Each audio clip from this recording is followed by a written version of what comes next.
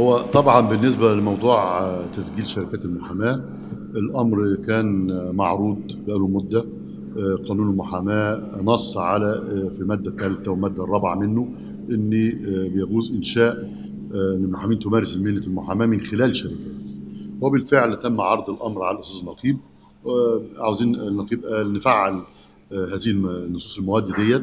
وبناء عليه آه، كلفني بأن أنا أتابع هذا الأمر وبالفعل عدينا مشروع آه، لتأسيس شركات ومشروع العقد ال- ال- التأسيس.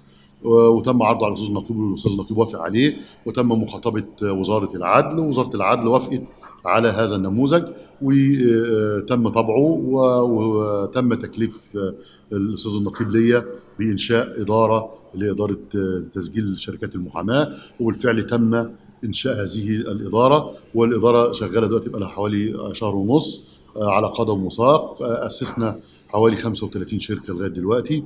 آه، الشركات ال- النموذج بيتباع ب 1000 جنيه و5000 جنيه كحد أدنى رسم تصديق. طبعا أملنا ان إن الزملاء المحامين تتكاتف بينها وبين بعضها وتقوم بتأسيس هذه الشركات والإقدام عليها لأنها بتفتح فرص أعمال كثيره وفرص عمل لشباب المحامين وغير المحامين لأن إحنا طبعا في تحديات آه، أمامنا آه، في شركات عالمية بت آه، جاية تتعاقد مع مصر وفي محامين دوليين بدأوا يفتحوا مكاتب هنا ولذلك التكتل ده هيخدم المحاماة وهيخدم المحامين وهيخدم شباب المحامين. لا هو طبعا إحنا لا- لابد نكون إحنا ماشيين بنظام المعاملة بالمثل.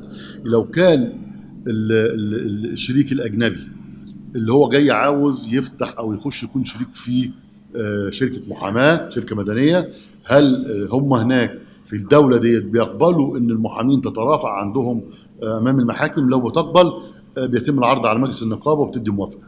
ما بتقبلش يبقى إحنا شرط المعاملة بالمثل شرط أساسي وده موجود طبقا لقانون المحاماة.